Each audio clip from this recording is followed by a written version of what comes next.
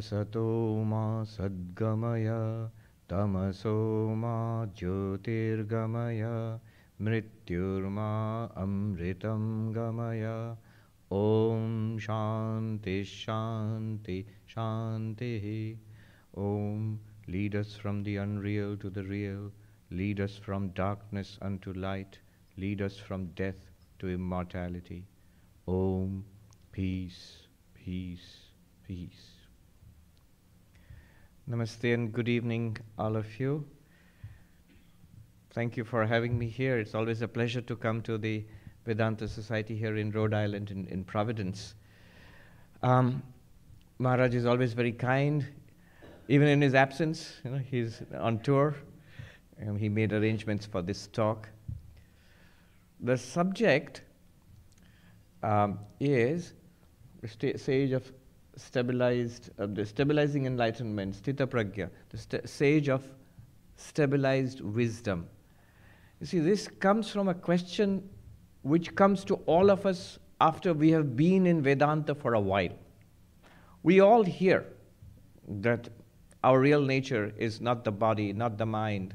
There is the body and the mind, obviously, but that's not what we are. We are spiritual beings. Uh, we are um, pure consciousness, awareness. And then we study methods of analysis of our experience of ourselves, and we see how, in what sense, first we try to understand what sense we are not the body, in what sense we are not the mind, in what sense we are pure consciousness, and how that solves our problems. You know, pure consciousness cannot, it's not born, it does not die, it does not undergo uh, old age, disease, uh, sorrow, frustration, um, it's not subject to desires. So, if that's our real nature, in that case, I am beyond problems. I overcome suffering. And that's how Vedanta proposes to achieve this goal of uh, spiritual practice to transcend suffering, to attain fulfillment. Basically, our identification with this body mind, that I am this limited person, that's at the root of all our uh, suffering. That's at the root of all our lack of fulfillment. This is a very limited creature. And if I am just this creature, there's not much I can do about the human condition. Everything, even all psychology and therapy, is just fine tuning. You can still be abnormal, still be unhappy, still be neurotic, just functional. That's the best that.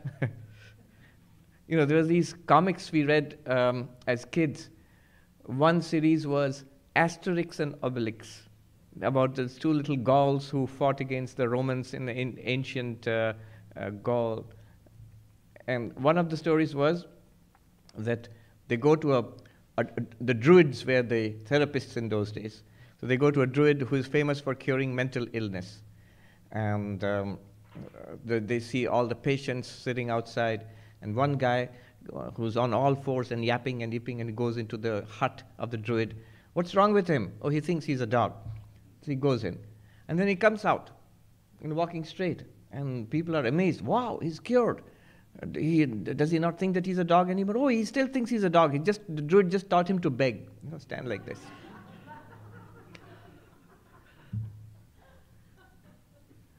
That's all that we can reasonably expect as long as we think we are rooted in this earthly flesh. If that's all we are, not much more than you can, you can expect from this. But Vedanta, not just Vedanta, in fact, every religion, every mystical tradition, it tells you one thing in different language, different philosophies, different theologies, different mythology. It tells us that we are not uh, mere mortal beings, we are spiritual beings. And the realization of this, this is the word realization is very interesting. To realize means to know. Oh, I, I just realized. That means I just came to know. That's one thing. But realize also has another meaning to make real. To make real. So, once we realize that we are this um, spiritual being, that in Vedanta it's very clear what is meant by a spiritual being, uh, that you're not uh, an objective body mind, but you are the pure subject, pure awareness. And then the promise is we will uh, overcome the limitations of material existence, that we will attain fulfillment, and we will see in what sense, in a deep sense, we are beyond suffering. Now, what happens is, once we read all that, we read the techniques, uh, you know, the method of the seer and the seen, the method of the analysis of the five levels of the human personality, the method of the uh, three states of waking, dreaming, and deep sleep, and how you are the witness of those three. Multiple methods are given in the Upanishads, very ancient methods, deep, sophisticated philosophical tools for giving us this insight so that we can realize, in the first sense of the word realize, come to know who we are. Who am I? We get the answer to that. And if we persist in it, as most of us here we have, for years and years we have studied or listened to Vedanta, we begin to get a sense of what is being said. But now our next question is that uh, it doesn't seem to work. The realize in the second sense, to make it real. Now I understand realize in the first sense. But realize something to make it real, that doesn't seem to be happening. If you make it real, the goal was, the promise was, you will overcome suffering. You will attain fulfillment. I don't feel particularly fulfilled. I don't feel that I have um, overcome suffering. I still react to the world in the same old ways. So, how have I overcome suffering? How have I attained fulfillment? By Vedanta. I'm not getting the results which were promised to me. It's not yet real for me how do I live this Vedanta? How do I make the results real for me? This is sort of the subject of today's talk. This question, um, Arjuna had this question. He says, Suppose I realize this, if I become enlightened, then what, how will my life be different? How will it, what will it look like? Advaita Vedanta, non dual Vedanta, doesn't say that it's just enlightenment, freedom from suffering, freedom from the cycle of birth and death, freedom from samsara, after death, a post mortem spirituality, if you will. No, that's there, but that's not what's being uh, uh, promised. Again and again, we read in the Upanishads, in the Gita, Ihaiva, here, here, in this life, now, in this body, in the life we are leading, we can be fully enlightened. The ideal of a Jivan Mukta, free while living in this body. So, how do I attain that? And what will it be like to attain that? So Arjuna asks this question. The way he asks this question to Krishna is at the end of the second chapter of the Bhagavad Gita, after Krishna has already taught him the doctrine of the Atman, that you are pure consciousness, you are immortal being, you, you are that which the sword cannot cut, you are that which the wa- water cannot drown, fire cannot burn, uh, air cannot uh, desiccate, and so on. You are immortal, you're not subject to birth and death. Death is nothing to you. It's like a change of clothes. When clothes get um, uh, dirty, you, you put it in the laundry basket and you put on a new suit of clothes. Exactly like that. When bodies become old and worn out, we discard old bodies and go on to new ones. It seems as easy as that. We go through such tremendous, I'm just quoting from the Gita verses, very famous verses. We go through tremendous changes in the course of one lifetime of one body, from babyhood to childhood to youth, teenage, youth, middle age, old age. So these dramatic transformations we go through, death is one more dramatic transformation. In this way, Krishna teaches Arjuna that you are not the body subject to birth and death. You are not even the mind, which is subject to constant upheavals, ups and downs. So that's been taught. He teaches karma yoga, how you can prepare yourself for uh, you know, using daily activities, uh, spiritualizing your life and prepare yourself for the higher knowledge. All that has been taught. Now Arjuna asks this question at the end of the second chapter. Suppose I do get this enlightenment which you are promising, what will it be like? स्थितप्रज्ञस्य का भाषा स्थितधि किं प्रभाष समाधिस्थस्य केशव स्थितधि किं प्रभाषेत किमासीत व्रजेत किम O Krishna, how would you define an enlightened person? And it, the word he uses for an enlightened person is very interesting established wisdom. Sthita pragya. What is pragya? Wisdom. But what kind of wisdom? Not a general term for a wise person. Aham Brahmasmi. I am Brahman. I am existence, consciousness, bliss. Chidananda Rupa Shivoham. I'm of the nature of Shiva, I'm of the nature of limitless awareness. This realization, suppose somebody gets it. In the state of deep meditation, what is this person like? And out of the state of deep meditation, when the person is interacting with the world, how does this person talk and mix with the world, you know, interact with people? How does this person withdraw? Literally, how does this person talk? How does this person walk, walk around? How does this person sit? Of course, it's not just about sitting, walking around, and talking. It's more, it's deeper than that. But basically, a question about how the enlightened person, what's it like to be enlightened, and how is it different from what I am right now? Now, though this might be interesting, we all might be curious what is it like to be enlightened? What practical use it is it to us right now? There, Shankaracharya in his commentary on the Bhagavad Gita, in his Bhashya, the commentary on the Bhagavad Gita, he says, uh, he says that, uh, introducing this section of the Gita, the second end of the second chapter, he says, Sarvatreva Adhyatma Shastra, everywhere in spiritual texts, in spiritual teachings, spiritual shastras. Um, Kritarthasya Lakshanani Yani, whatever are the natural characteristics of the enlightened one. The word used is Kritartha, a very beautiful word, which means one who has accomplished the ends of life, one who has done what has to be done.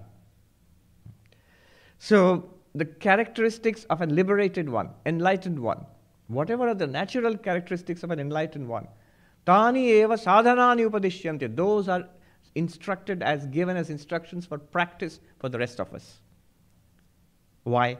Yatna sadhyatvat, because by effort, by consistent practice, one can reach that state of enlightenment. So, what Krishna is teaching us, going to teach us now, what we'll talk about now, are yes, directly those are answers to Arjuna's questions, description of the enlightened one, which is interesting in its own right. But also, these are advanced practices for Vedanta students. If you have been in Vedanta long enough, these are the questions we are asking how do I live my life in the light of Vedanta now? There are preliminary practices, moral practices. Clean up your life, lead an ethical life, try. Devotional practices. Have a devotional practice to God in some form, deity. Karma yoga. Transform your activities into selfless, not selfish. And dhyana, meditation. Our minds are very fickle. Learn to concentrate and focus your mind through meditation. Maybe mantra japa, deity meditation, some kind of mindfulness. So these are all preliminary. Preliminary to what? The, the um, central practice of non dual Vedanta, which is Shravana Manana Nididhyasana. You uh, listen to the teachings, you contemplate it, and you meditate upon the clarity thus gained. Now, what more when you have clarity? I get it, but it's still not working. I have not realized. So, then what more? So, you can see it's pretty advanced. We are not talking about the beginning, we are talking about matters at the end. So, one question just might be do do people who have already got clarity about Vedanta, do they need any spiritual practices at all? And this issue is raised by Vidyaranya Swami, the great author, medieval Vedanta master who, who lived in the Vijayanagar kingdom, south of India, about 600 years ago. He's famous for his book Panchadashi, 15 chapters on Vedanta. But he's also famous for another book, Jivan Mukti Viveka, an analysis into this phenomenon of liberated while living, enlightened while living. So it's a wonderful, it's a manual for advanced spiritual practitioners. So there he raises this question Do people who, who have got clarity, I get it, I am the witness consciousness, do they need any more spiritual practice? And he says, Yes, they do. Yes, they do. Why? He says there are two, here, two kinds of candidates, spiritual seekers. He calls them Kritopasti, those who have completed the course of spiritual practices. Akritopasti, those who have not completed the course of spiritual practices and yet have got a deep, clear Vedantic insight. Many of you will go, that's me, the second one. The first one is who has done all the hard work. What's the hard work? Has purified the mind so that worldly desires are cleansed, a pure heart. Most important. What does Jesus say in the New Testament, in the Bible? Who will see God? Blessed are the pure in heart, for they shall see God. They shall see God, literally. So, purify the heart by uh, uh, you know, sweeping out desires. Easier said than done. Converting one's life into a life of service, you know, a life of blessedness, Vivekananda said. Blessedness and helpfulness. Deep devotion and reliance on God in matters, worldly matters, spiritual matters also the ability to focus and meditate deeply in stillness and silence for long periods of time. All that has been accomplished to a great degree. This is called a Krito Upasti, a person who has completed the course of practice in Karma Yoga, in Bhakti Yoga, and in Raja Yoga, or Dhyana Yoga. Then, such a person, if this person gains a clarity in Vedanta, it will lead straight to enlightenment and Jivan Mukti, um, stabilized wisdom. But if the preliminaries are not strong, you go, that's me, that's me. the preliminaries are not strong. If I can't honestly say I've overcome all my worldly desires, if I can't honestly say that um, you know I am not yet, uh, if I if I feel that I'm not yet fully dependent on God and I'm, I'm overflowing with devotion to God, if I can't claim that, if I can't claim that my mind can be concentrated in deep meditation for long periods of time and stilled, if I cannot do that, in that case, I fall in that category. Such persons too can get an insight into Vedanta and into insight into the nature that I, of our real nature, not that I'm not body mind, I'm this witness awareness. It's not difficult to get. But what will happen in that case is it will not translate into enlightenment.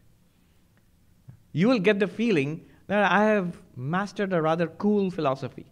You know, I learned something very exciting, very very deep about our real nature um, and something that is very inspiring. But the moment I try to take it out for a spin on the road, crash. I, ha- I have a car crash. I get upset, I get irritated, I get unhappy. Uh, I have many complaints about the world, and people have many complaints about me. So it is not quite an enlightened life. So, what practices do I need? Such a person, such a person needs a further course of practices, but advanced practices. What are they? Krishna gives answers, and it's a beautiful section, Sthita Prajna. Sthita Prajna. Uh, from the 55th verse of the second chapter till the end of the second chapter, 72nd verse. All of it is worth deep study and contemplation. We have to memorize the Gita or portions of the Gita at least when we were novices as brahmacharis. And I, have heard of at least more than one case when somebody was, somebody was hopeless at memorizing, and they were told, just memorize that portion of this uh, second chapter of the Bhagavad Gita. That's enough, if you memorize that portion. So it's a beautiful portion. We will, um, it's worth studying and contemplating. However, the crucial part of it is in the first four verses which Krishna talks about. So I will tell you those verses give you an executive summary, and then dive into some interesting details because we won't have time for anything more than that. First, I'll tell you what the verses are. Krishna says, Sri Bhagavan Vacha, Prajahati yada kaman, Prajahati yada kaman, Sarvan partha manogatan, Atmanyevatmana tushta, Sthita prajnastaduchyate.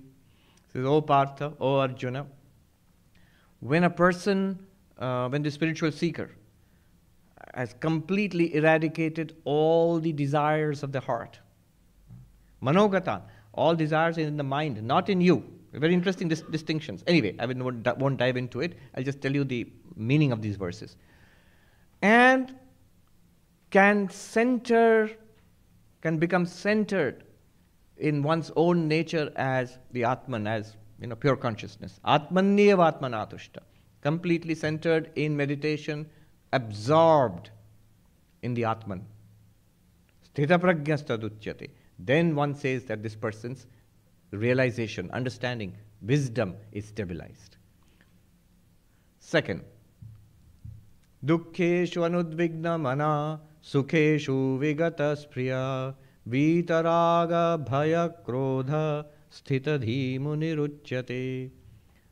That one is called a sage of, um, of settled wisdom, the one who is unperturbed in the middle of sorrows, dukkha, and not hankering after, thirsting after in the middle of uh, pleasures, who has transcended uh, craving, fear, and anger. Such a person's wisdom is firmly fixed. Second instruction. Third, Yasarvatranavisneya तत्तत्प्राप्य शुभाशुभं नाभिनन्दति न द्वेष्टि tasya prajna pratisthita. That one's wisdom is firmly stabilized, who, when confronted with the pleasant and the unpleasant, the auspicious and the inauspicious, the, the welcome and the unwelcome, you know, shubha, shubha. Na abhinandati na dveshti. Who uh, neither rejoices when things go his way, uh, your way, and nor plunges into, you know, this is awful, this is terrible, into, into depression when things do not go your way. Sarvatra nabhisneya has affection, love, but nowhere attachment. Such a person's wisdom is said to be firmly stabilized. These are the three key instructions, and one more is there, which is sort of foundational for all of this, a capacity, a discipline. Uh, Yada sangharate chayam kurmanganiva bharata bhya tasya pragya pratishtita. When you have the capacity of withdrawing, you know, like a tortoise withdraws, it, withdraws its limbs into its shell at the first sign of danger, the capacity to withdraw from sense contact, the senses from sense contact. It's like the ability to throw a switch light or a fan or whatever, switch it, you can, like a flipping a switch, you can switch it off. You can cut off your contact with the world. You have that much control over your senses, about your engagement with the world. I mean, how many times a quarrel has gone on because there's something screaming at the back of my mind, back off, don't say one more word. But we have to give one more reply to that, to set that guy right. And that perpetuates a quarrel an inability to control the, what's called the motor organs, inability to control the sense organs. Addicted because I couldn't stop seeing. Addicted because I couldn't stop, stop tasting. Addicted because I couldn't stop touching or smelling. Get caught. Sense organs, motor organs. Not for nothing, uh, there's an American word, motor mouth. Can't control you might say, but I was right. But the interesting thing is guilt. Afterwards, we regret it. What, have you noticed how strange this uh, phenomenon is guilt or regret? I did it, I said it, and then I disown it. Because I disown it in a sense, I wish I hadn't done that. I wish I hadn't said that. Which means it's an interesting division within myself. I, my earlier self, I'm disowning it. There was something wrong there. So often it can just be a matter of discipline, of the ability to cut it short from within. So, anyway, Sri Krishna makes a big deal out of it because after that, several verses which follow this are on this subject the, the ability uh, to control one's senses. This is very important because Swami Vivekananda has written a note on the four yogas yoga of knowledge, the yoga of meditation, the yoga of love, and the yoga of action or service. One paragraph each for an American disciple. More than 100 years ago, he wrote this. And uh, uh, for the way of knowledge, Vedanta, the way of inquiry, the way of knowledge, he says, on this path, many come to an understanding, few realize. See? This path consists chiefly in the control of the senses, which is an interesting observation because we would think this path consists chiefly in uh, YouTube lectures and reading uh, uh, and, and, logical arguments and uh, reading Vedanta texts. No, no, no. So that's why there's this fourth one, which Krishna says is the foundation of the other practices. All right. Executive summary. Here I'm borrowing from a sadhu who put it very beautifully in Hindi. I'll tell you in Hindi and translate. What Krishna has taught here, what can we take away from this, what, we, what can we as Vedanta practitioners immediately start practicing in our day to day lives, these advanced practices. Executive summary. The first three verses, one, one phrase each for each one of them. He said, I'll quote and explain. He said, Bodh me ekta, chit me samata, vyavahar me asangata. Bodha, in your realization that we are all one consciousness, one non dual consciousness, the Atman. Be centered in that. One. That's the first practice. That's the meaning of the first instruction that Krishna gives to Arjuna. Second, chitta me samata, an evenness of mind. Do not let anything disturb the serenity of your mind. That was the second instruction in the midst of sorrow and uh, happiness. Third, about our interactions with people and the world, vyavahara, transactions with the world. That's the real source of disturbance. Vyavahar me asangata, a detachment, non attachment. You flow like water in the midst of you know, the world. Do not get stuck up anywhere. Do not get stagnant with anybody, anything, any place. Wherever you are, you are a spiritual seeker. You, your truth shines out there. But you're not grasping onto anything. Why not? Because then we would be grasping onto falsity. Whatever you grasp in the world, that is continuously changing. It's only in our delusion we think I'm holding on to this place, this state of health, this financial security, that person. All of those are continuously changing. That was the Buddha's great insight that in a world of com- continuous change, if you grasp something, dukkha, the result is sorrow. Anityam, anityam, sarvam anityam. Impermanent, impermanent. Indeed, all is impermanent. Kshanikam, kshanikam, sarvam kshanikam. Not just impermanent. Momentary, momentary. All is momentary. Not just impermanent and momentary. Shunyam, shunyam, sarvam shunyam. Empty, empty. Indeed, all is empty. And so, because everything is impermanent, nay, momentary, Nay, not even that. Empty. Therefore, dukkham, dukkham, sarvam, dukkham. Sorrow, sorrow, all is sorrow. But there's a crucial thing which is implicit there. It need not be sorrow. The enlightened ones also exist in this world of impermanence and emptiness. But they are beyond sorrow. How is that possible? We seek to grasp the changing as the non changing, the momentary as lasting, and the empty as substantial. That's why we, are, we, are, uh, we, we suffer. So the, in, in transactions, in our interactions with the world, vyavahar me asangata, detachment. Don't tell people, they'll feel hurt. From today onwards, I'm going to be detached from you. It's an attitude from inside. I'm very happy with all of you, but I'm very happy without all of you also. I remember this uh, monk I met in the high Himalayas. Um, so um, I lived in a cottage next to his. Uh, he looked like, if you have seen these wonderful movies made on Tolkien's books, The Lord of the Rings.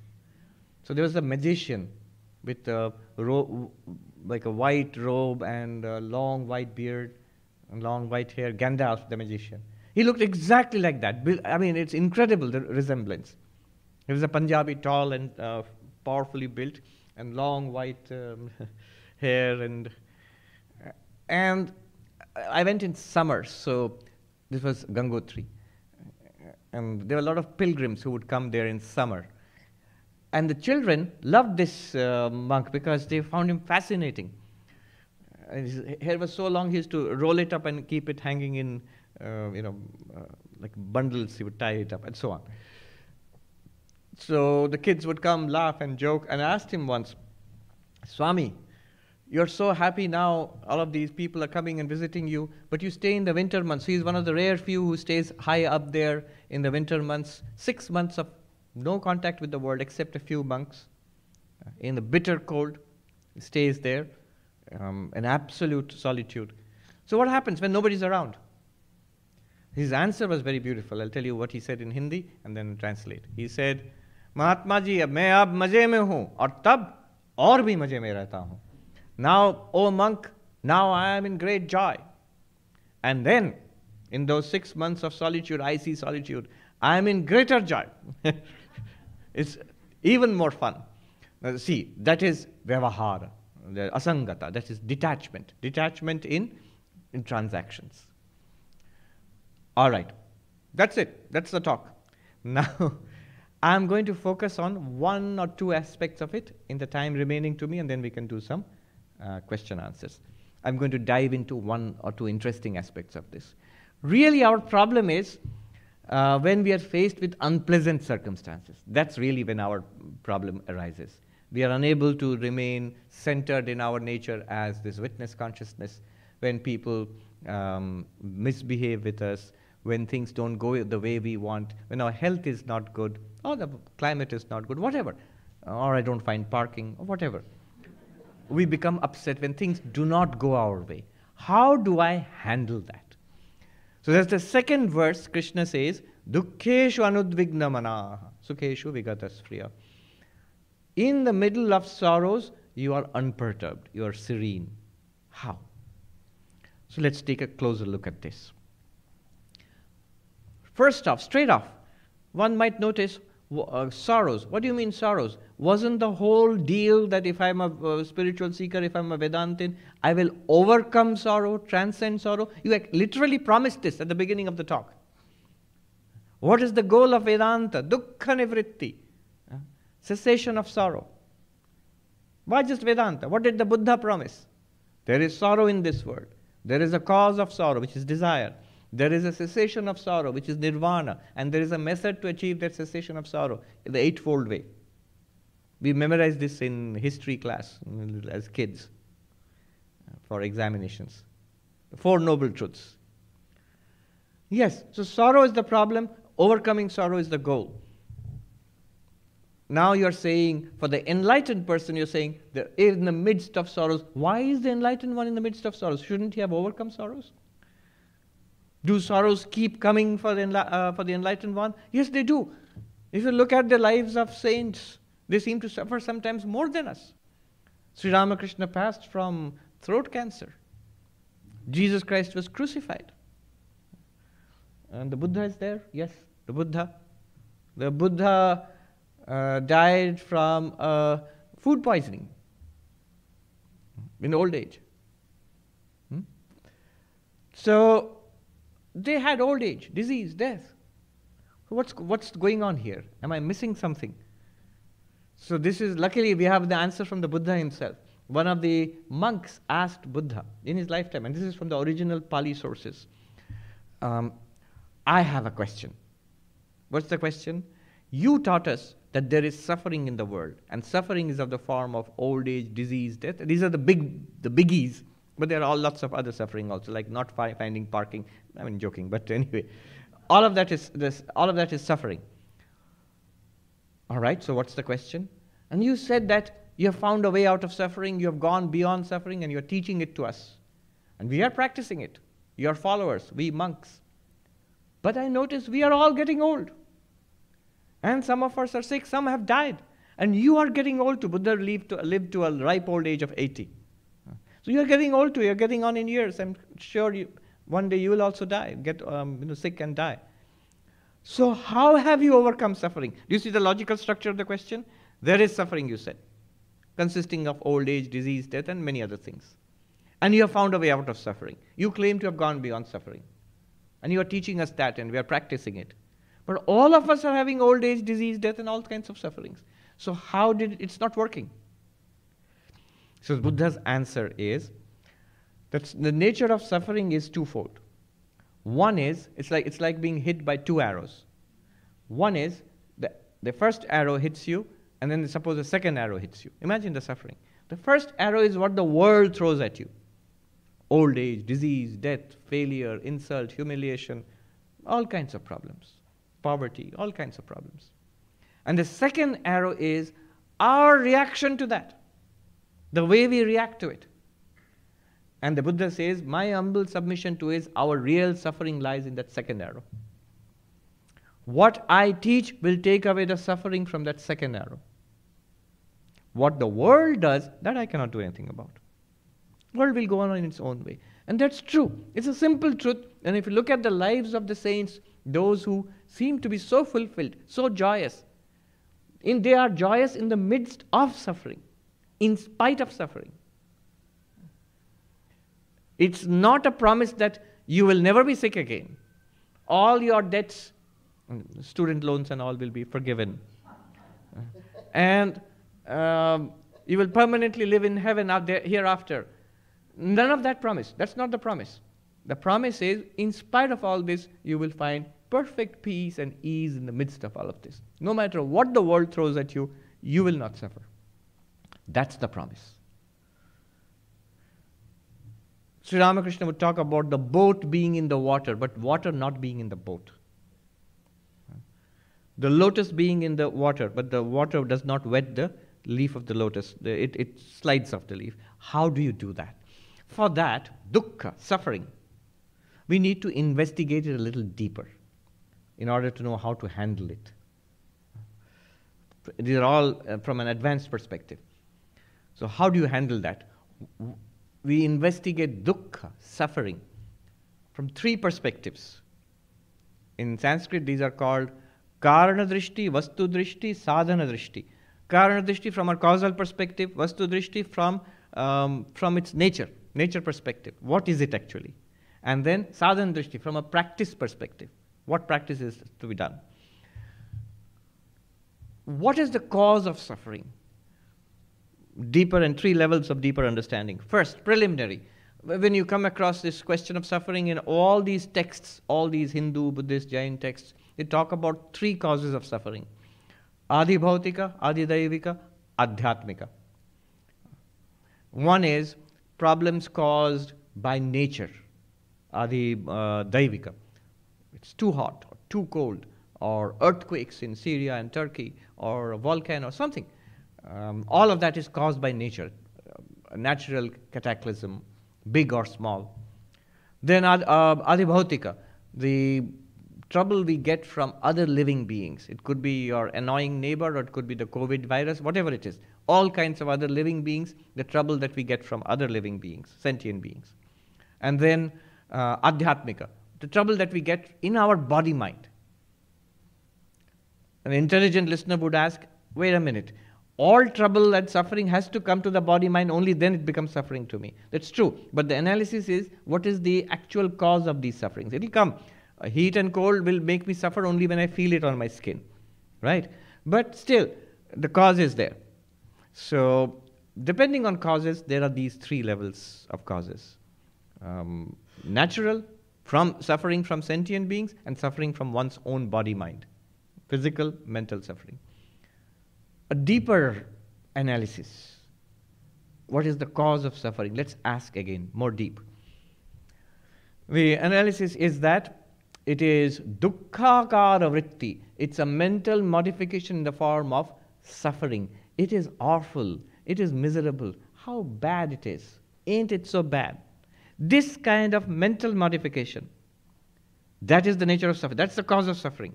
It's not really whether it's heat or cold. It's that the mental modification I have in the mind, mental modification means the thought, the understanding that I have in the mind. Notice the Buddha's second arrow. The mental modification in the mind, chitta vritti. I'm translating chitta vritti. The, the thought in the mind, the understanding in the mind is, it's so cold, I'm so cold and miserable. That's the cause of suffering, not the actual temperature out there. Um, so, dukkhakara vritti. Somebody says something, so, is that the cause of suffering? That's a distant cause. The real cause is when I react with, I feel so hurt and offended by what that person said. It was uh, uh, Eleanor Roosevelt, Eleanor Roosevelt, who said that nobody can hurt you without your permission. Yeah. She's talking about the dukkhakara vritti, the modification in the mind, the immediate reaction in the mind is horrible. That person has hurt me. I'm so hurt. I'm so miserable. No, no, many people won't like this because it's easier to blame the other person than to say that actually it's my mental modification. True, that person has contributed. Nobody's denying the person is being nasty. But I'm contributing to it also by what, what I'm thinking. And then a lot of, in fact, at this level, a lot of what is called cognitive behavior therapy, it takes place at this level. How we are interpreting what is happening in the world. There was um, the predecessor to cognitive behavior therapy, a very well-known psychologist, um, uh, the rational emotive behavior therapy. Albert Ellis? Albert Ellis, yes, REBT. Not many people read him these days, but uh, he was an amazing uh, uh, psychologist and analyst and therapist. New York. REBT, and that has become the modern cognitive behavior therapy, but that was the seed idea.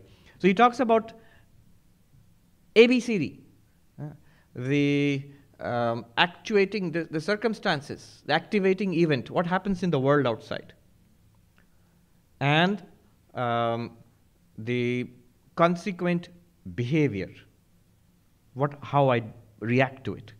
So A is what, what happens in the world, how people behave, what's going, going on in my body also. C is the consequence, the consequent behavior, how I react to it. In between, he points out, often un- unlooked, is B. B is our belief system.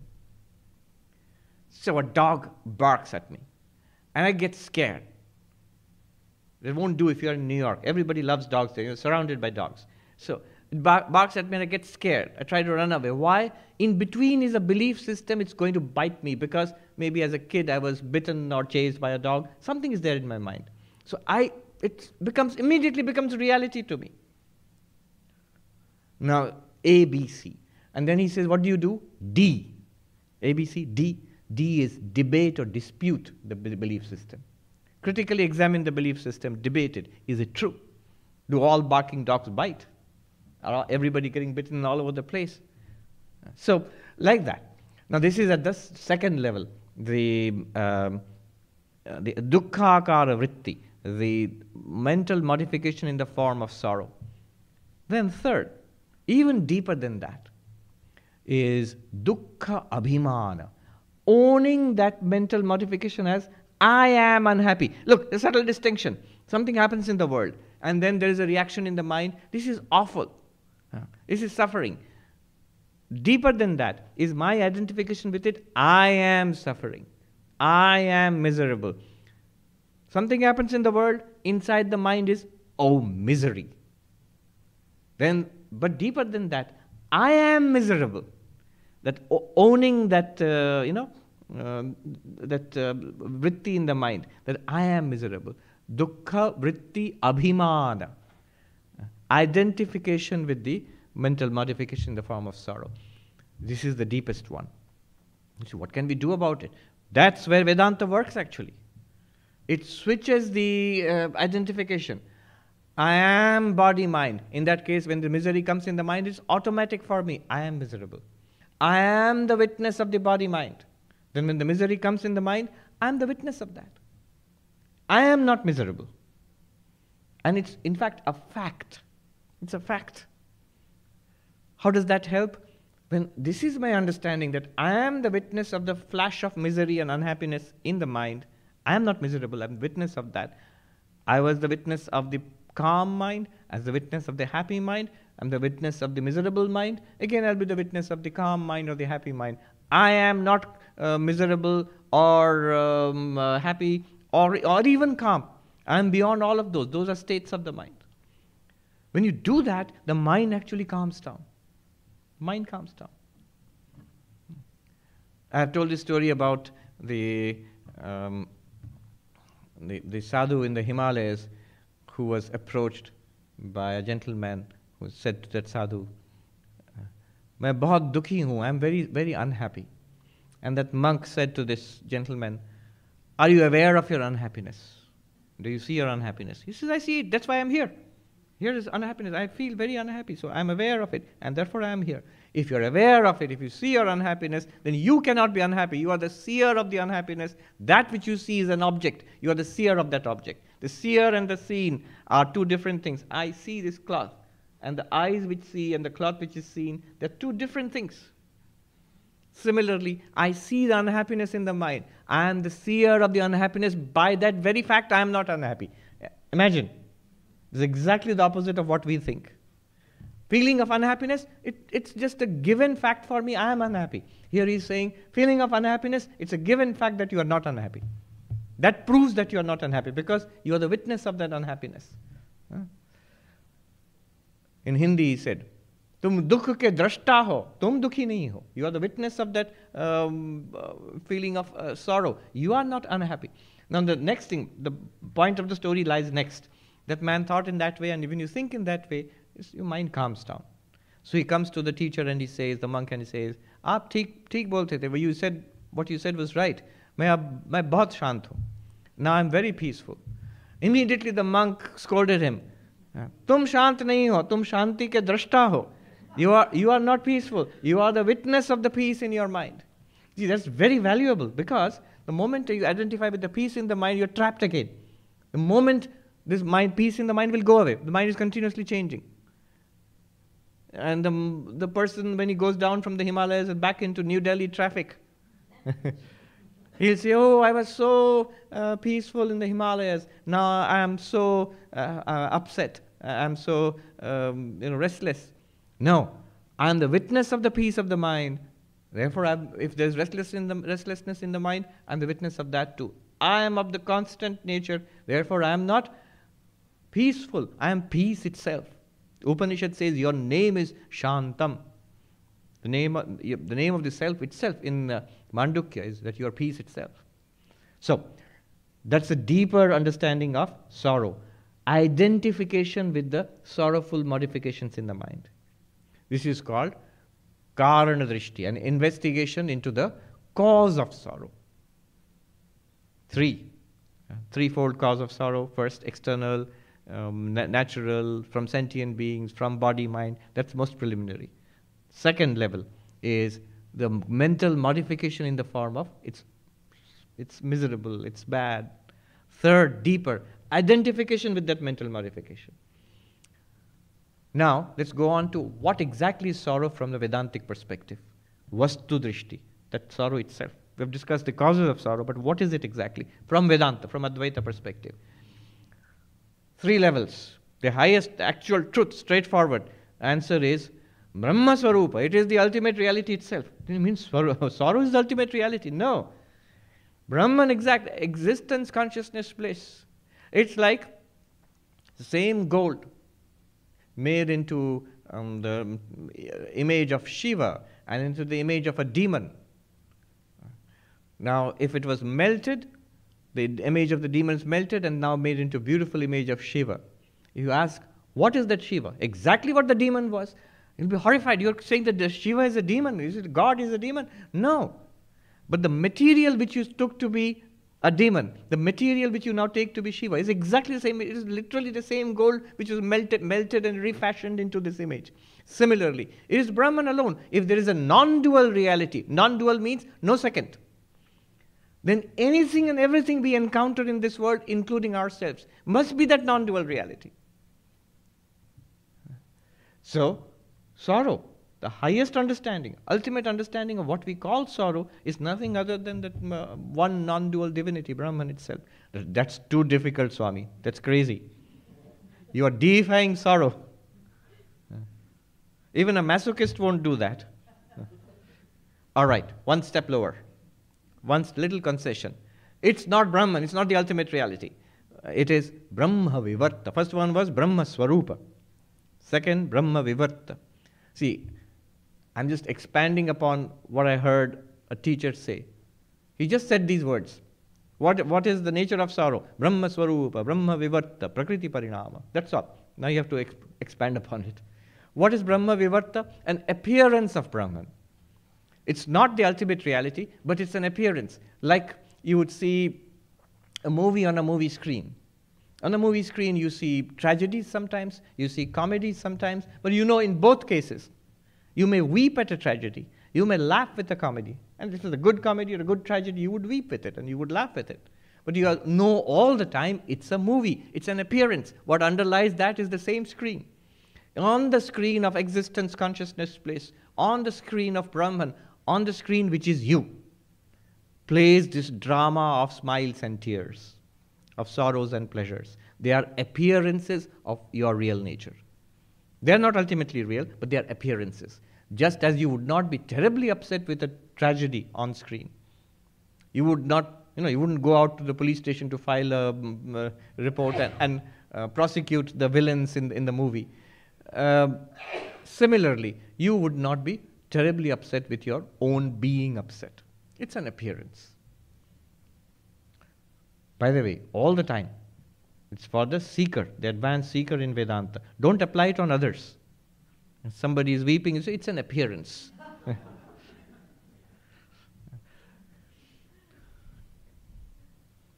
then, third, if that's also too difficult, Uh, the third level of analysis of what exactly constitutes the th- sorrow from a Vedantic perspective is a little more concession. Prakriti Parinama, it's a transformation of nature.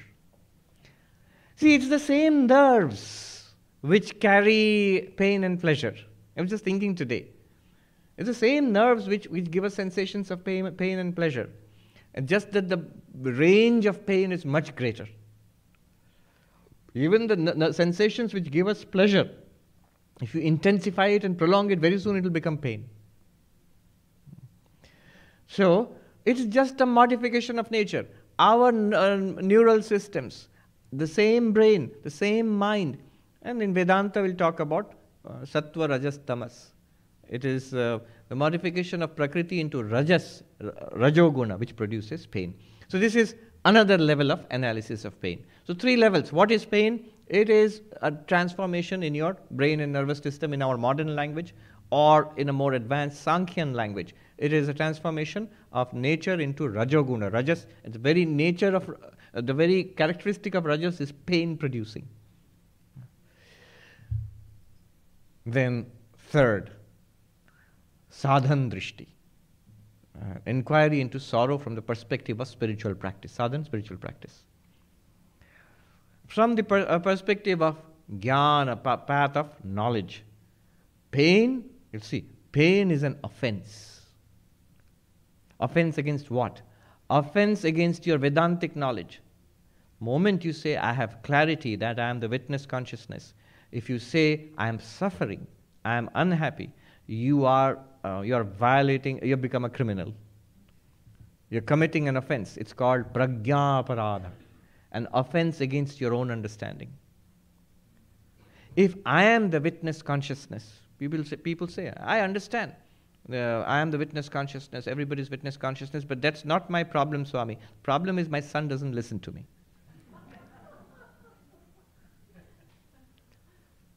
You see the jump we are making. I am the witness consciousness, and my son doesn't listen to me. Where does the son come in here? Whose son? Who doesn't listen to whom? From your perspective as the witness consciousness, as Atman and Brahman, your son is also the same thing. That listening to you and not listening to you, wanting your son to listen to you, and your son not wanting to listen to you, both are at which level? Not at the level of pure consciousness, at the level of the mind and behavior. That's a problem which can be tackled at that level. But from your perspective as witness consciousness, it shouldn't be a problem at all. You should be able to deal with it with evenness of mind.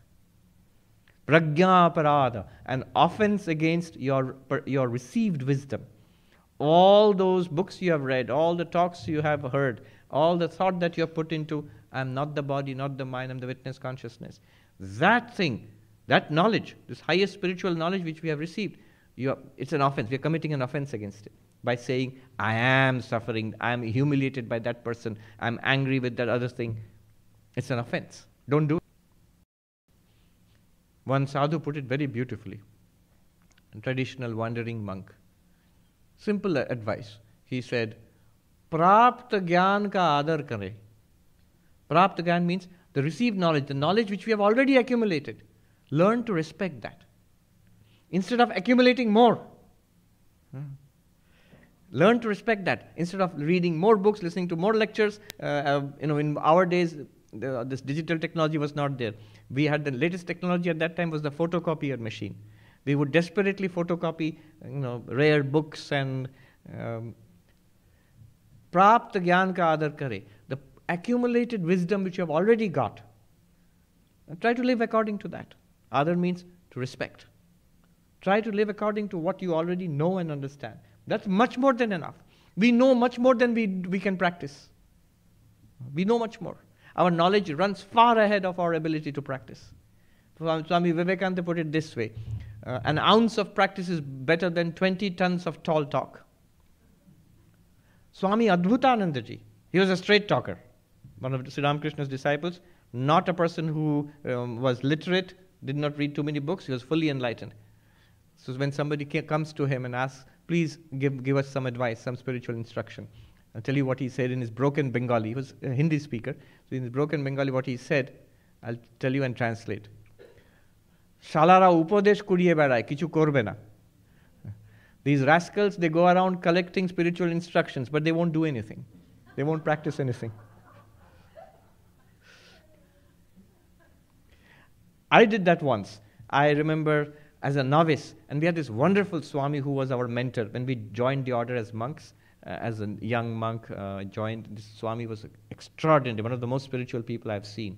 So I was so lucky to have him in the first one or two years, two years of my spiritual life. And then the time came when he was leaving. He was called away to a, um, you know, a higher responsibility at our main monastery. He was leaving the ashram where we were. So the last evening, I was walking with him, I and other novices. So I said, in all enthusiasm, Swami, please give us, please give me some parting instruction. And he snapped at me. What I've told you the last two years, if that has no effect, then what I say now will have no effect also.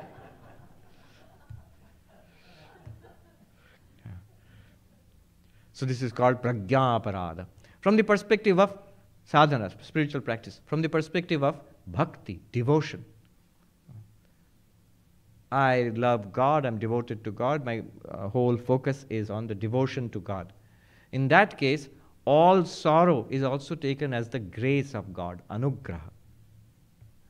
Sorrow is not sorrow. That is sorrowful when what takes me away from God is sorrowful. What takes me towards God is not sorrowful. What worldly people count as sorrow is no sorrow to me. Um, so, whatever we do, um, the result comes to us in the form of uh, the, the, grace of God. So, even sorrow is, is the grace of God.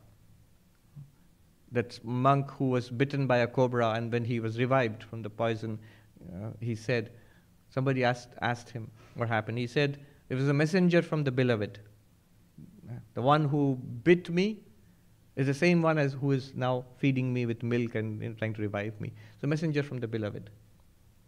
Sorrow. Sri Ramakrishna gives the example of the weaver who was a devotee of Rama and who surrendered completely whole life to Rama. So there's a story of the will of Rama, Ramer iccha. So one day he was sitting there uh, at night taking the name of Rama, and uh, robbers came to the neighborhood and they robbed a house of a rich man. The police came, the robbers were running away, the cops were chasing them. When the robbers saw this poor man sitting there, they dumped their stolen goods on him and they ran away. And the cops saw that, the policeman came and says, Oh, so he's the robber. They captured him and they hauled him off to jail. Next day, he was produced in front of the magistrate, and the people of the village came and said, Oh, he's a saintly soul. He couldn't be a robber. And he was set free. So when he came back, people asked him, What happened? What happened? And he said, by the will of Rama, I was uh, weaving and taking the name of Rama. By the will of Rama, the robbers came. By the will of Rama, they were chased by the police. By the will of Rama, they dumped their stolen goods on me. By the will of Rama, the police captured me. And by the will of Rama, I was in jail. By the will of Rama, I found myself in front of the magistrate. And by the will of Rama, he set me free. And by the will of Rama, here I am before you. That's how he treats sorrow, dukkha. That is bhakti drishti. It's the, uh, it's the will of God. I'm fine with it. Not easy, but then no spiritual practice is easy. Then there is a karma drishti, a sadhana, spiritual practice from, from the perspective of karma. Karma is good, good, bad, bad, none escape the law in Vivekananda's uh, formulation. Good karma, which is, which is called dharma, consciously done moral action, uh, is produces what is called punya, merit. And that punya produces sukha, happiness consciously, deliberately done uh, immoral action, adharma, produces papa, demerit. Papa produces dukkha, sorrow. So sukha and dukkha are the products of our past karma. But this is not spiritual. This is just a statement of fact. Now, how do you spiritualize this? If I work and whatever happens to me, the pleasures and pains are the results of my work. Now, can I convert this work into worship? If I do all my work as an offering to the Lord, just as you do puja here, and you offer some fruits and sweets, when you offer it, it's called bhoga. After the offering is over, it's called prasada. The sacred food offerings, now they are consumed by devotees as coming from the Lord. It's sacred now. Similarly, all the work that I do is puja. And the results of the work, karma phala, is prasada. Is that which is coming? What I've offered to the Lord is coming back to me now. Now, in my day to day life, the pleasant ones are very nice. The unpleasant results of my work I, I reject. But if it's prasada, you may like um, uh, mangoes, you may not like prunes, but if it comes as prasada, if a prune comes to your hand also, you will take it as prasad. It's not, not that it's a prune is no longer very important to you. You might still prefer the mango prasad and not the prune prasad, but still, the fact that it is prasad is important. Similarly, what comes to me in life, uh, all these actions, uh, it is prasad. The pleasant and the unpleasant are not so important, right? So, um, this is the karma drishti or sadhan drishti from the perspective of karma. Right, we have sort of um, time is more or less up. I think I'd rather hear from you. Let me quickly summarize. What did we talk about? Dukkha, about how to handle suffering. Karana drishti, what is the cause of suffering? Threefold investigation. Three causes external, from sentient beings, from our own body mind. Deeper investigation. It is the mind, the thought in the mind that it's bad, unpleasant. Even deeper uh, cause is identification with the thought. I am unhappy. Here is unhappiness, but I am unhappy. Then the second kind of uh, investigation was Vastu Drishti. What is it actually? And the highest understanding, highest realization of the enlightened ones, Brahma Swarupa. It cannot be anything other than Brahman, this, this experience of sorrow. Or that is not acceptable, then Brahma Vivarta, an appearance of Brahman, like a movie, like a dream, like fiction. Or if that is also difficult, it's a transformation of nature. Don't be swept away by it. Don't be swept away by it. That particular impulse of the nerves is great. That's the goal of life. That particular impulse of the nerves are horrible. That's my life is a failure. They are nerve impulses. So transformation of nature. Sadhan drishti, from the perspective of spiritual practices. Uh, jnana, remember pragya aparadha, an offense against your own understanding. Then bhakti, it is the grace of God. I can tell you so many stories about how devotees take even sorrow as the grace of God. And then finally, karma. If I convert my action into puja, then all sukha and dukkha, the pleasant and the unpleasant, it all becomes prasada. That's my that's the way I take it when things come to me from the world. Go back to the executive summary. What do we take away from the whole talk? Bodh me ekata. They be centered in the knowledge that it is all one consciousness and I am that. You are that one consciousness. In your understanding, that's one. In your mind, chitta me samata. Never let anything disturb the evenness of mind. Third, vyavahar. In your transactions with the world, asangata, detachment.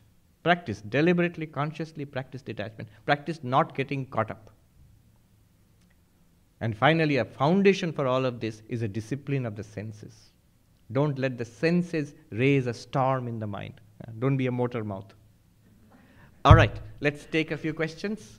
How do we do this? You raise your hand and the, and the microphone comes to you. Yes.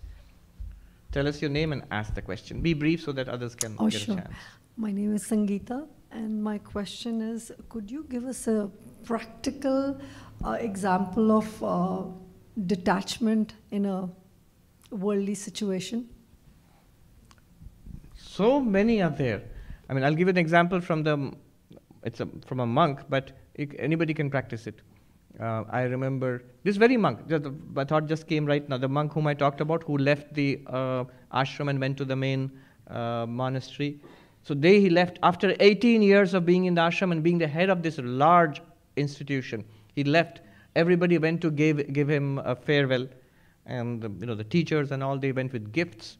Um, he accepted. He was he accepted all of that. He uh, was pleasant to everybody. But we noticed one thing: when he went from his room, from the office back to his room, all the gifts remained there. He didn't take. He didn't unwrap any one of them. He didn't take anything when he left the ashram. The way he had come 18 years ago, I think he left with less than that. Detachment.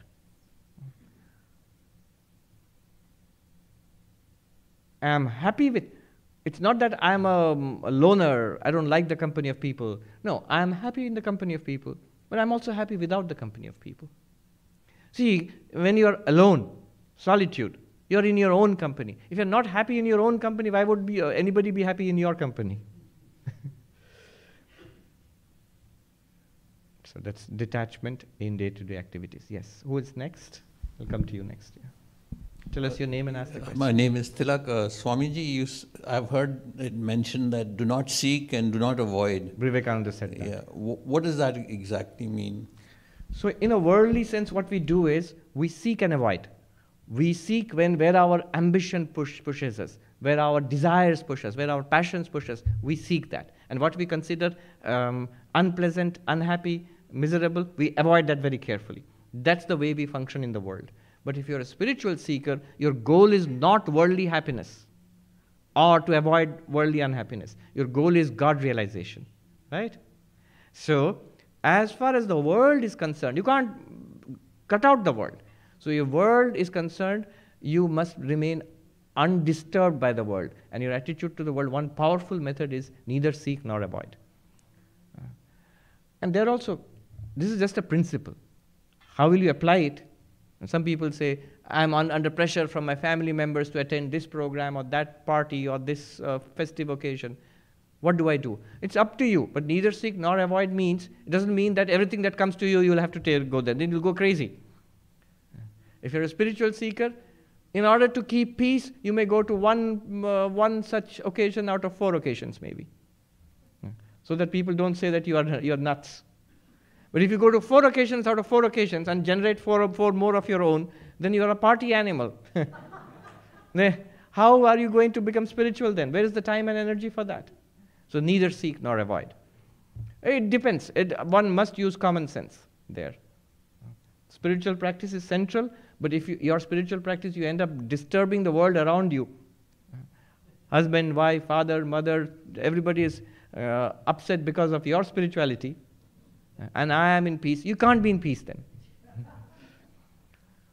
uh, I remember I went to India when in the big city. There was a talk in this very big institution. This lady stood up and she asked us this almost similar question.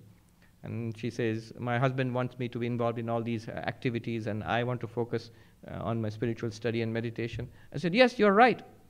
Next day in the morning, her, her husband came running. You told this to her, now I'm in trouble. Look, she doesn't do these things. These are important uh, parts of our social life, our professional commitment. I said, You're right, absolutely right.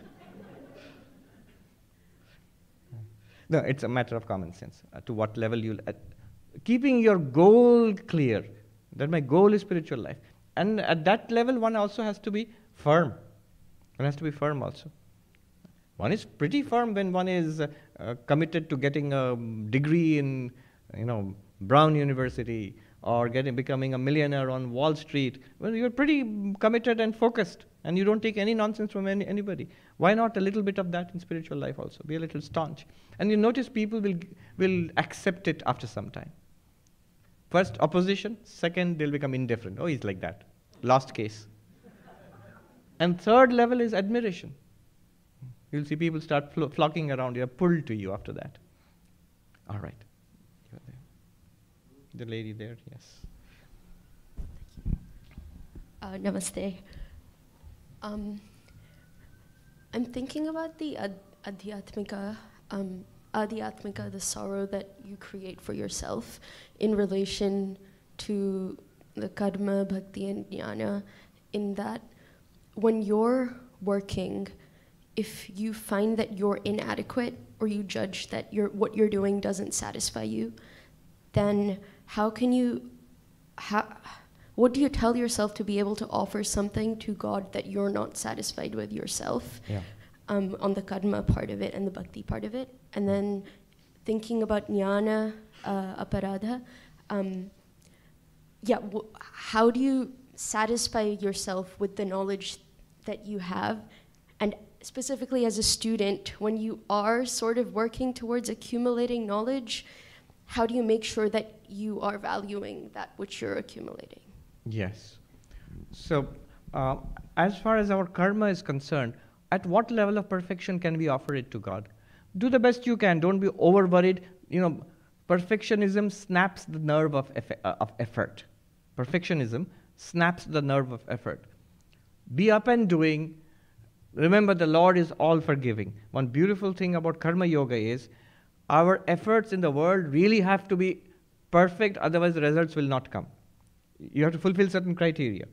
Then only the results will come, whether in academics or in a job or wherever, in relationship, wherever. Whereas anything, the Lord accepts anything which is offered out of devotion. So if, if it's offered out of love, we will do the best. When you give something in love to somebody, you, you give it with love and you do the best. It may not be really all that good. There's so many stories from Shabari and others who offered very poor things, very mean, um, you know, um, things um, to the Lord, but they offered it with so much devotion. The Lord says, I eat the devotion, not the food which is offered. So, yes, um, don't worry about it. Offer it with love, with tears in your eyes, that, that the Lord accepts immediately. Whether it's prayer, whether it's a puja, whether it's some kind of work done in the world. And valuing knowledge, remember, there is no conflict between the knowledge which is gained on campus in your education and your spiritual practice. Knowledge itself is sacred, right? So, you know, gather it in as much as you can. Um, don't see a conflict between what you are studying in the university and your ultimate spiritual goals. It's all part, it's in one stream. We have no conflict there in your mind. All right, so we have run out of time, 6.15, uh, later then. Om Shanti Shanti Shanti Hari Om Tat Sat Shri Ramakrishna Arpanamastu. Very good, thank you.